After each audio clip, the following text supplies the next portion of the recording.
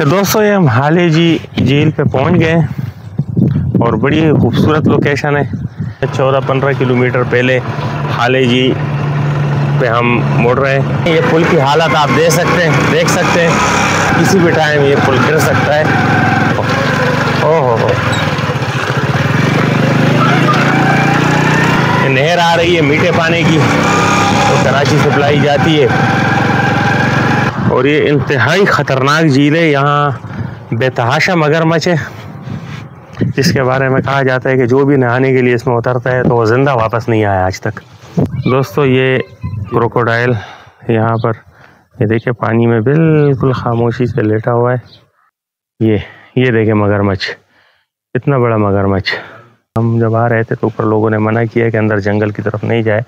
मुख्तलिफ़ जंगली जानवर गवर्नमेंट ऑफ़ सिंध का है। सिंध की प्रॉपर्टी है। ये होटल, माशाल्लाह बड़ा खूबसूरत होटल बनाया हुआ है। इससे पे तो हम जा रहे हैं और ये झील भी बहुत बड़ी झील है। ख़त्म होने का नाम ही नहीं ले रही। उसके बाद जो है ना आगे टट्टा की तरफ़ एक रास्ता मुड़ रहा है। उस रास्ते पे आपने जाना है। लेकिन यहाँ के खूबसूरत नज़ारा हम देखते हुए आ रहे थे। हम वाकई में खूनी झील है। काफ़ी लोगों की एक, किसी की टांग का ही है, किसी को हाथ का है और कुछ बेचारे तो जान से भी गए हैं यहाँ पर। तो मना किया गया है, लेकिन फिर भी जो है ना, आगे इस पानी में उतर गया। असलकुम दोस्तों, आज आपको सिंध की एक ऐसी जगह पे लेके जा रहे हैं, जो कि ख़तरनाक और खूनी झील के नाम से मशहूर है। जी हाँ आपने सही सुना, खूनी झील खाली जी झील।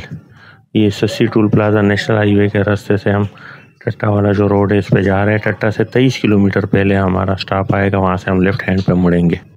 दोस्तों, ये अब सस्सी टूल प्लाजा के बाद दाबी जी मार्केट आ रहा है, एक छोटा शहर है, दाबी जी के नाम से। ये दाबी जी का एरिया है।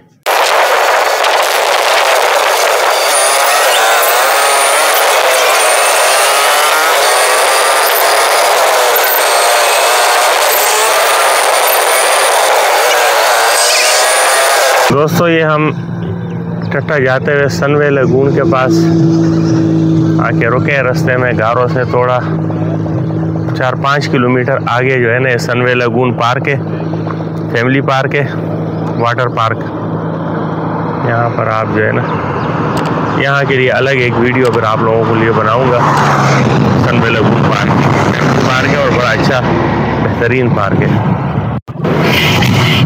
दोस्तों, ये टट्टा से तकरीबन 28 किलोमीटर पीछे या 25 किलोमीटर पीछे यहाँ जो है ना, ये बाइक पंचर हो गई है। तो पंचर वाले के पास अभी खड़े हैं। पंचर लगवा के फिर यहाँ से आगे का सफ़र शुरू करते हैं। दोस्तों, ये नेशनल हाईवे से हम ये हाले जी रोड की तरफ़ जो है ना टट्टा से तकरीबन 14-15 किलोमीटर पहले हाले जी पे हम मुड़ रहे हैं। तो आगे जाते आपको हाले जी झील की सैर कराते हैं, जो एक ख़तरनाक झील है। दोस्तों, ये हम हाले जी झील की तरफ़ जा रहे हैं। ये पुल की हालत आप देख सकते हैं, देख सकते हैं। इंतहाई ख़राब हालत, किसी भी टाइम ये पुल गिर सकता है। इसके साथ ही ये दूसरा पुल बन रहा है, नया। ये देखे गड्ढा ओहो ओहो हो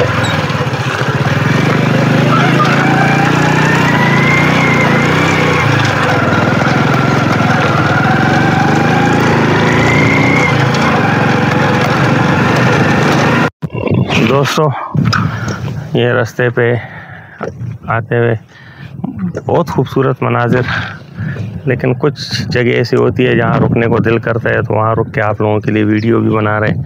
अब एक ये लिया है और इसके साथ ही पानी की नहर है। हवा चल रही है, बहुत खूबसूरत मौसम और खूबसूरत व्यू।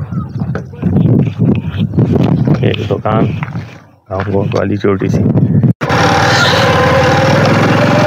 ऊपर से ये ये हम हाले जी झील की तरफ़ जा रहे हैं। नहर आ रही है मीठे पानी की। तो कराची सप्लाई जाती है। तो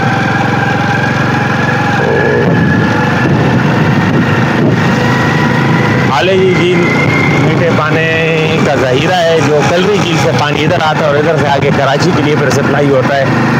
छोटी छोटी छोटी है यहाँ मकामी आबादी को ज़रूरियात पूरी करने के लिए, ज़मीनों में फ़सल वसल उगाने के लिए, पीने के लिए, इस तरह की नहरें निकाली गई है।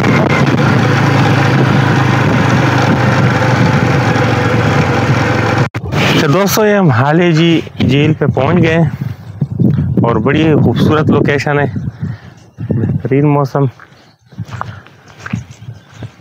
आए आपको हम दिखाते हैं। हाली जी झील मैं खुद भी फ़र्स्ट टाइम यहाँ पर आया हूँ। इससे पहले यहाँ पर मैं नहीं आया था। दोस्तों, आप लोगों की खातिर आया हूँ। ये हाले जी झील का मंज़र है और ये इंतहाई ख़तरनाक झील है। यहाँ बेतहाशा मगरमच्छ है। आगे चलते हैं, देखते हैं अगर कोई यहाँ का मकामी मिलता है तो उनसे मालूम भी लेते हैं। लेकिन ये वो खूनी झील है जिसके बारे में कहा जाता है कि जो भी नहाने के लिए इसमें उतरता है तो वो ज़िंदा वापस नहीं आया आज तक। अभी देखते हैं आगे। दोस्तों की हकीकत है, अफसाने। दोस्तों, ये बेंचेस रखें।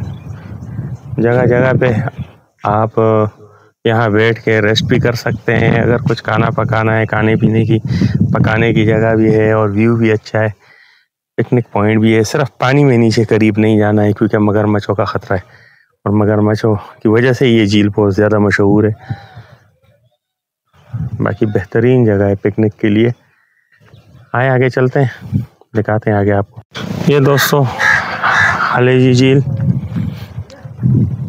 सफ़ाई और खूबसूरती में कोई कमी नहीं। ये टॉयलेट्स ये नमाज़ पढ़ने की जगह।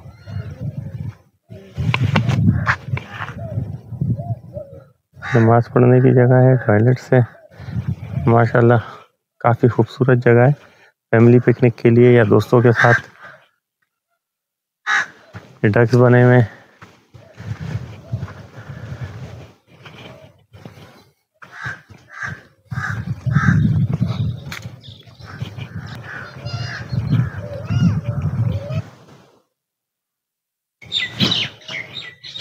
देखिए व्यूवर देना है।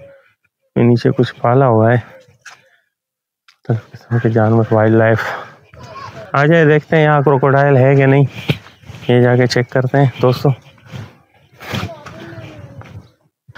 दोस्तों, ये क्रोकोडाइल यहाँ पर, ये देखिए, पानी में बिल्कुल खामोशी से लेटा हुआ है। वाइल्ड लाइफ वालों ने जगह इनके लिए बनाई हुई है।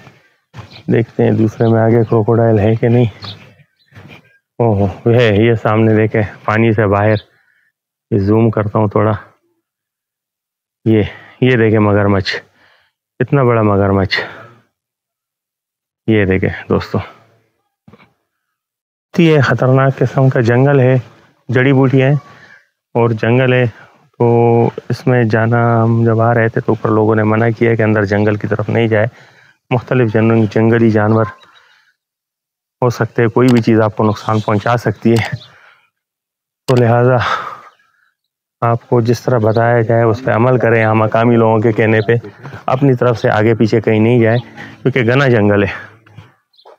दोस्तों, ये वाइल्ड लाइफ इंफॉर्मेशन बोले परिंदों और जानवरों को तंग ना करें।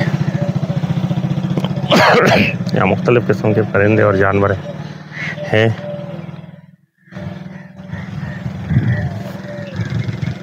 भाई, यहाँ पर मछली का शिकार कर रहे हैं।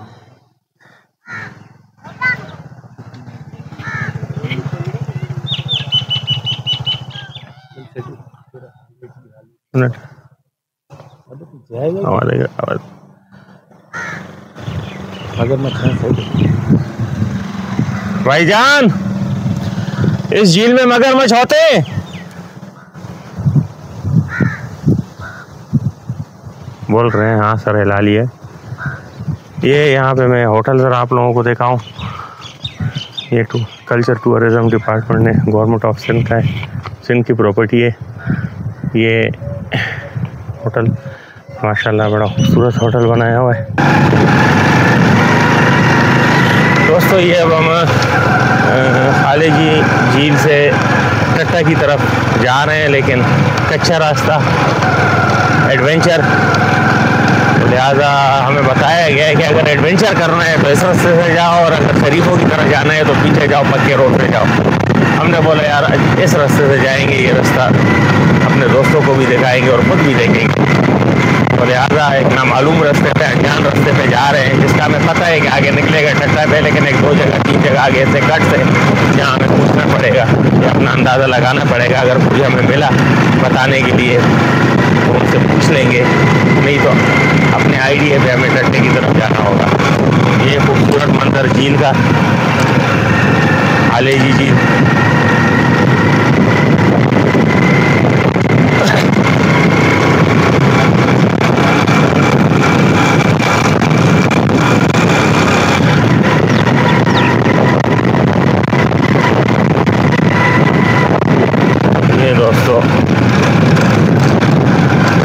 अच्छा दोस्तों, वो अच्छे रास्ते पे तो हम जा रहे हैं और ये झील भी बहुत बड़ी झील है, ख़त्म होने का नाम ही नहीं ले रही। बहुत आगे हम निकल आए तो हम रुके, हमने यहाँ एक जगह पूछा कि भाई हम टट्टा का रास्ता तो हमें बताया गया है कि दो किलोमीटर और भी आगे आपने जाना है और उसके बाद जो है ना आगे टट्टा की तरफ़ एक रास्ता मुड़ रहा है, उस रास्ते पे आपने जाना है। लेकिन यहाँ के खूबसूरत नज़ारा हम देखते हुए आ रहे थे, हमसे रहा ना गया। हमने कहा, कैमरे में कैद करके आप लोगों को भी ये दिखा दे। इंतहाई खूबसूरत नज़ारा। मगरमच्छ यहाँ होते हैं, ये हमें काफ़ी जब जितने लोग यहाँ पर मिले, उन्होंने बोला है।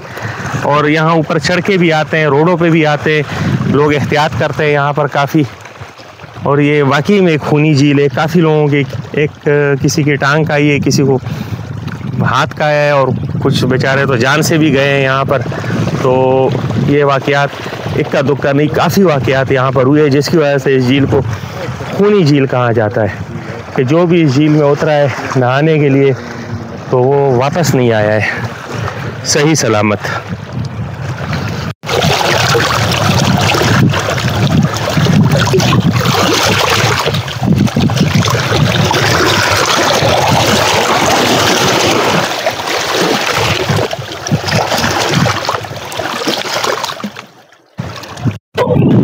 ये रास्ते पे आते हुए एक और लोकेशन मैंने कहा ना कि जहाँ आप लोग को एक लोकेशन आ रही है। आदमी का दिल करता है कि बस यहीं पर ही रुक जाऊँ, आगे ना जाऊँ और यहीं बैठा रहूँ। ये बड़ी खूबसूरत लोकेशन एक और उसी कच्चे रास्ते पे आते हुए। तो ये हाल झील की खूबसूरती। उम्मीद है आप लोग समझ रहे होंगे, देख रहे होंगे। तो ये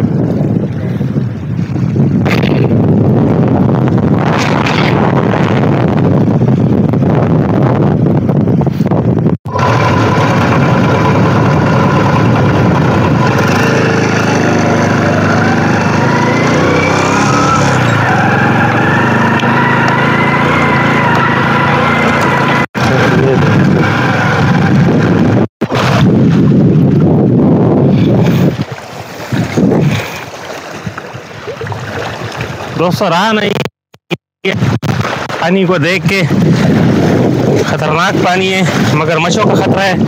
मना किया गया है, लेकिन फिर भी जो है ना, आगे इस पानी में उतर गया। क्योंकि पानी इतना खूबसूरत है